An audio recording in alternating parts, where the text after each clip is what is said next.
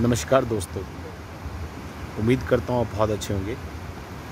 आज जब मैं पहाड़ों में बैठा हूँ यहाँ पर, ट्रैकिंग करके काफ़ी ऊपर आया हूँ तो यहाँ पर आने के बाद मैंने जब ध्यान लगाया तो बहुत सारे विचार देखो आदमी के मन में चल रहे होते हैं। पर आज मैंने कुछ विचारों को बहुत बारीकी से फिर दोबारा से महसूस किया।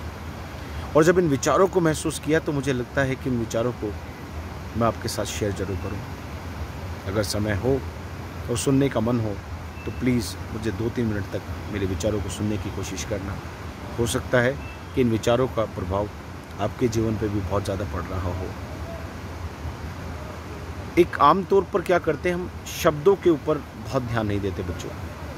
मेरे दोस्तों, कई बार हम वर्ड्स पे वाक्य में ही ध्यान नहीं देते कि किस तरीके के शब्दों का प्रयोग हम अपने जीवन में कर रहे हैं। अपने लिए ही नहीं, बल्कि औरों के लिए भी। पर एक बात आपको कहूँ, ये विचार ही हैं जो हम सबको ताकत देते हैं और ये विचार ही हैं जो हम सबसे ताकत छीन लेते हैं। मैं इसका एक बहुत अच्छा उदाहरण देता हूँ। दो ग्रुप हैं। दो ग्रुप हैं हमारे और उसमें से ट्रैकिंग को लेके बात होगी कि चलो आज ट्रैकिंग करते हैं। अब ट्रैकिंग में दो विचार है। एक ग्रुप कहता है, यार, कैसे करेंगे? इतनी ऊपर तक जाना है, कितना हार्ड है इस पर चढ़ना। नहीं यार, दिक्कत आ जाएगी, तंग हो जाएँगे। एक ग्रुप वहीं पर कहते हैं कि यार यहाँ पे आए, मज़ा करने के लिए, चलो चढ़ेंगे ना यार, चलो करते हैं। अब जब तक मैं पहले वाले ग्रुप की बातों को सोच रहा हूँ तो मेरे मन में विचार आ रहा है कि सच में यार बड़ा मुश्किल है पहाड़ों पर चढ़ना। पर जैसे मैं दूसरे ग्रुप के बारे में सोचता हूँ कि चलो यार चढ़ेंगे यार, चढ़ना क्या है? चढ़ जाएँगे और मज़ा आएगा बहुत। तो मैंने सीधा का सीधा देखा कि यार क्या विचार है ये। तो मैंने उनके साथ मतलब चलना शुरू कर दिया। और आखिरकार हमने ट्रैकिंग की। हम कर पाए। मैं हमेशा एक बात कहता हूँ, हो सकता है कि आप अब एक वर्ड जो यूज़ करने जा रहा हूँ कि वो वर्ड आपके जीवन का एक बहुत अहम शब्द हो और हो सकता है इस शब्द का प्रयोग आप हर किसी व्यक्ति के लिए कर रहे हो। और हो ये भी सकता है कि इस शब्द की मदद से आप खुद अपने आप को और साथ ही साथ अपने साथियों को मोटिवेट करने की कोशिश भी करते हो। वो शब्द है कोशिश। कहते कोशिश करने वालों की कभी हार नहीं होती। मुझे नहीं लगता, मैं नहीं जानता सच में कि आप मेरी बात से अग्री करेंगे, नहीं करेंगे। पर मैं इतना जानता हूँ कि ये शब्द अपने आप में एक कमज़ोर वर्ड है। अगर आप ये कहते हैं कि कोशिश करते हैं तो कहीं ना कहीं आपने स्टार्टिंग में ही एक बात कह दी कि चलो ट्राई करेंगे, हो जाएगा हो जाएगा, नहीं होगा नहीं होगा। इसमें ना होने की संभावना बहुत है। पर अगर मान लो आप यहीं पर ही कहते चलो करते हैं तो इसमें होने की संभावना इसमें होने की संभावना हंड्रेड परसेंट है।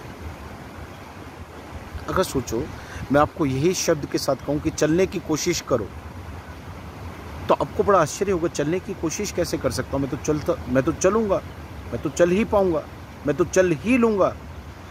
पर सोचो, अगर ये ये शब्द मैंने उस व्यक्ति के लिए किया, जिसका पैर टूटा हुआ है, पैर में बहुत भयंकर चोट लगी है, पैर हिल तक नहीं रहा, ऑपरेशन हुआ है और मैं कहता हूँ, अब चलने की कोशिश करो, यहाँ पर देखिए। मैं जो कहने वाला हूँ इस बात को, और वो जिसको चोट लगी है, कि दोनों व्यक्तियों के मन में एक विचार तो है, पता नहीं चल पाएगा, नहीं चल पाएगा। बच्चों, जब हम किसी भी काम को लेकर डाउट होता है ना, तभी ऐसे कमज़ोर शब्दों का प्रयोग करते हैं। यार, कुछ भी करो, कमज़ोर शब्दों का प्रयोग मत करो।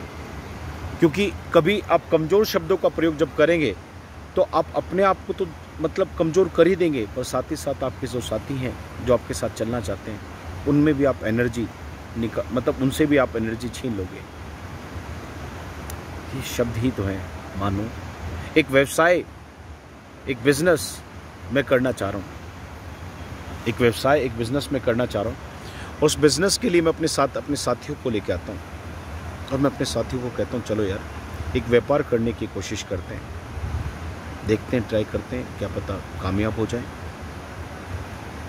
अगर यहीं पर इन्हीं शब्दों को मैं बदल कर अपने दोस्तों को ही कहूँ यार एक बिज़नेस को शुरू करते हैं।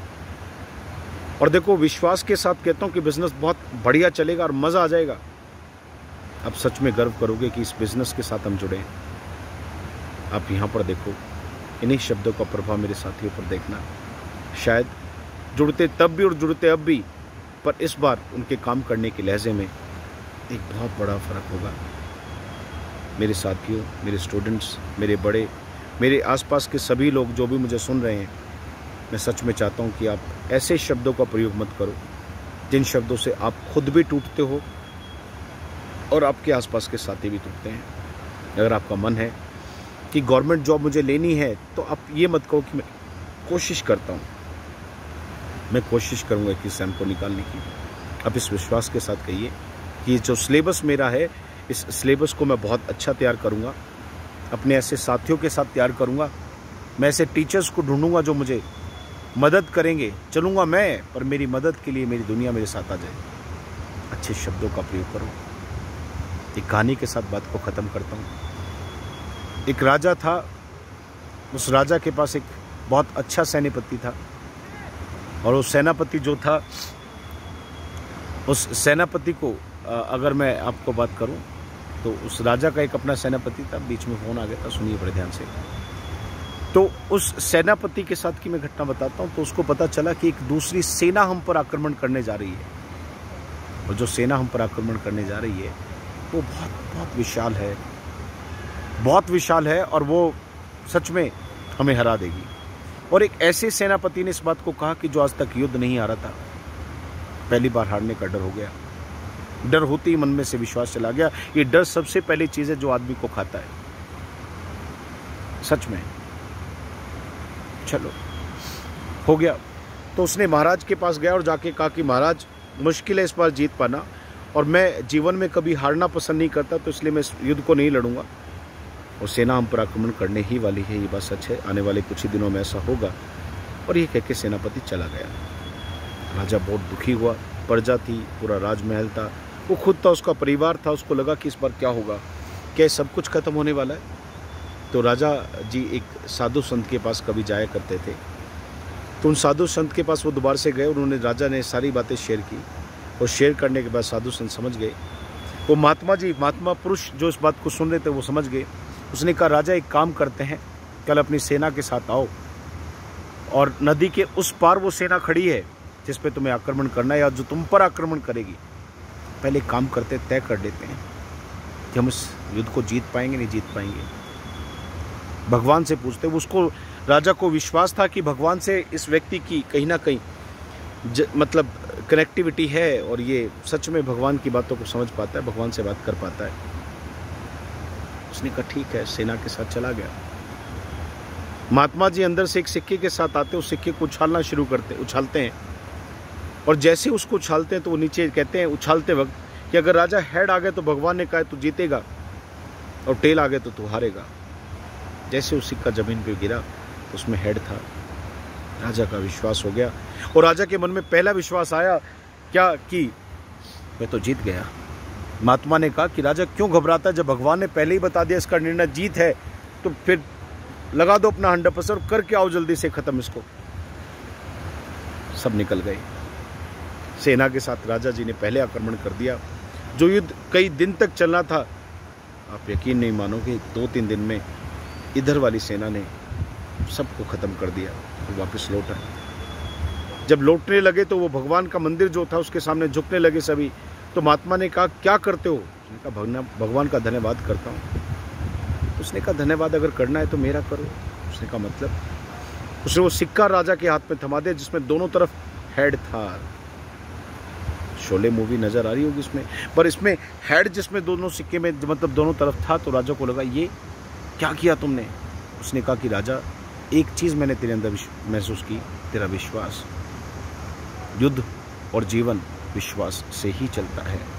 विश्वास करो कि आप सब कुछ कर जाओगे। विश्वास करो कि आप सब कुछ करने के लिए बने हो। इसी के साथ, अच्छे शब्दों के साथ, अच्छे शब्द अपने यूज़ करो और बढ़ते चलो। धन्यवाद बच्चों। Thank you